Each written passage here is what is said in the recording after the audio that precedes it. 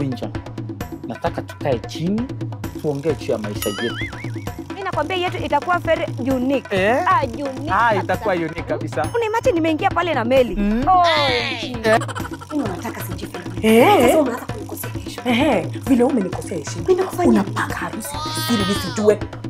Nataka uniroge Anaitwa nani? Sema jina yake na nimfanyie nini na nini mfanyikie. Anaitwa Awinja.